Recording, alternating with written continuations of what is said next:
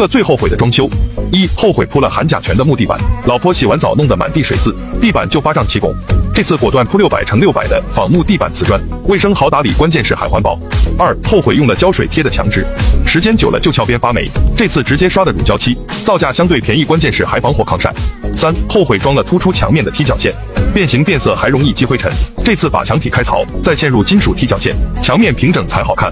四、后悔订了木质的衣柜，全是木板，费钱甲醛高，还有可能戴绿帽，这次坚定做金属框架的衣柜，没有甲醛，经久耐用，关键是能省下好几千。五、后悔装了复杂的背景墙，以为好看，没过多久就过时，这次简单做半高木饰面，省钱耐看更显时尚。六、后悔买了传统床，卫生死角多还费钱，这次学住小芳，用几根木方做框架，再找大伯借几块钱买两根膨胀螺丝，把它牢牢的固定在墙面，用两根方管支撑起来，再用几根角钢固定床架，然后铺上木板，底部一定要记得安装灯管，盖上床垫就是时尚的悬浮床，就算来头大象也压不塌。七、后悔装了壁挂的空调机，管线挂机外露，真心不好看，这次安装的是风管机，藏在吊顶里，价格比中央空调低。八、后悔顶面装了吸顶灯，夏天那就是蚊虫根据地，这是做的无主灯吊顶，档次提升好几倍。九、后悔飘窗没利用好，平常那就是垃圾堆，这次利用飘窗做了书桌、化妆桌，化妆学习两不误，关键是两边还能摆放书籍。十、后悔卧室装了小气的电视机，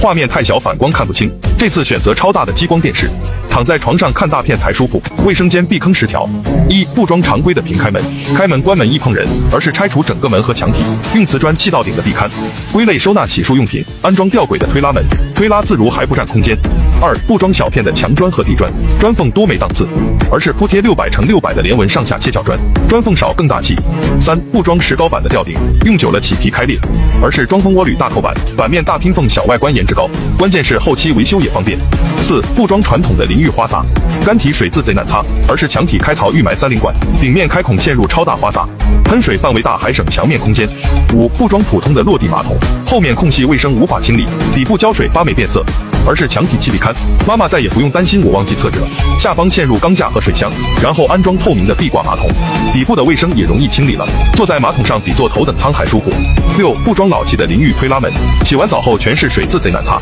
还有这该死的挡水条，进出总是绊脚摔跤，而是清空回填层，四周砌红砖固定，再嵌入定制的浴缸，铺贴大理石，就是冬天用的泡澡区。然后安装保温盖，看电影、品酒、享受生活。再加一块保温盖，又是夏天用的淋浴区。记得墙面做瓷砖隔板，方便拿取洗浴用品。上面安装电热毛巾架，最后用钢化玻璃做隔断。七、洗手盆不买台上盆，接缝容易发霉变黑，而是装陶瓷一体盆，台面水渍不用擦洗。八、不装直排的下水，卫生实在不好打扫，而是装墙排的下水，原下水安装地漏，再安装墙排的管件，不怕堵塞，主要是好打扫。